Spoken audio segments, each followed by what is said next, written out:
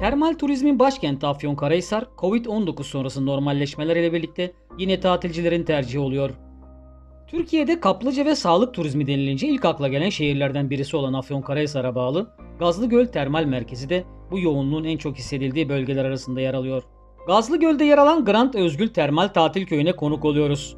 2009 yılında Gazlıgöl Termal Bölgesi'nde 20 bin metrekare üzerinde geleceğin sektörü olan termal turizme yönelik olarak kurulan ve şu anda yaptığı yatırımlar sonrasında örnek bir işletme haline gelen, oldukça yoğun bir ziyaretçi misafir eden tesisin genel müdürü Süleyman Çınaroğlu ile Covid-19 ve normalleşme ile birlikte geldikleri son durumu bizler için paylaşmasını istiyoruz. Covid-19 ve normalleşme ile alakalı da bölgemizde ve tesisimizde gerçekten e, gerek Sağlık Bakanlığımızın gerek Turizm Bakanlığımızın önerileri, yine sertifika ile alakalı TSE'nin standartları bunların hepsini birebir uyguladık. Zaten e, bir çırpıda da bütün önlemleri aldığımız için çok kolay bir şekilde sertifikamızı da aldık. Şu anda da tesisimize baktığımız zaman Grant Özgür Termal'e e, doluluk oranlarımız e, belki dünya genelinde ilklerdedir çok şükür. E, ben misafirlerimize de bizleri tercih ettikleri için bizlere güvenip Covid-19 normalleşme sürecinde buralara tatile geldikleri için gerçekten çok teşekkür ediyorum. Eğer tatil yapmak istiyorsanız, eğer sağlığınıza kavuşmak istiyorsanız, huzur ve dinlenme istiyor iseniz Özgül Termal'e sizleri bekliyoruz. Grant Özgül Termal Tatil Köyü Genel Müdürü Süleyman Çınaroğlu, Gazlıgöl'ün gerek yurt içi gerekse de Avrupa'nın birçok ülkesinden misafir kabul ettiğini ve termal suyunun özellikleriyle de yoğun bir şekilde tercih edildiğini söylüyor.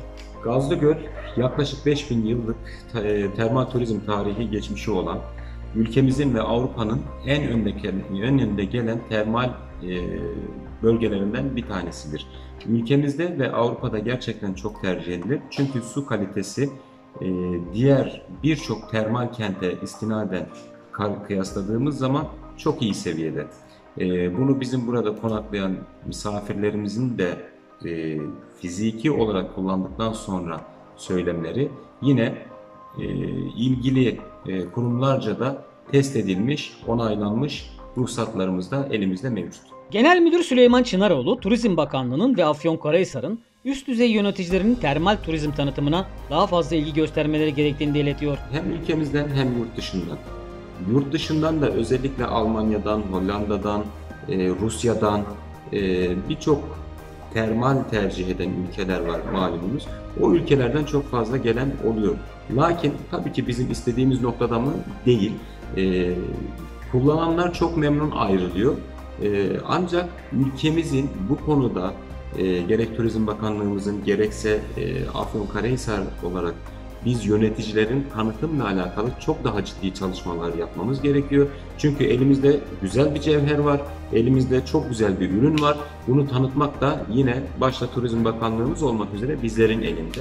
Ee, nasıl ki bir Antalya'yı, İstanbul'u, işte Bodrum'un tanıtımları yapılıyor ise eğer yurt dışındaki fuarlarda, yurt dışındaki TV kanallarında veyahut da platformlarda, sosyal medya üzerinden, TV üzerinden kesinlikle termal turizmle alakalı da Afyonkarahisar'ın e, çok hızlı bir şekilde zaman kaybetmeden tanıtımı yapılması lazım. Termal suyumuz çok güzel. Termal suyun yanında tesislerimiz gerçekten kaliteli. E, dünya geneline baktığımız zaman Kara, Afyon Karahisar'ın Gazlı Göl'ün e, termal tesis kalitesi gerçekten üst segmentlerde.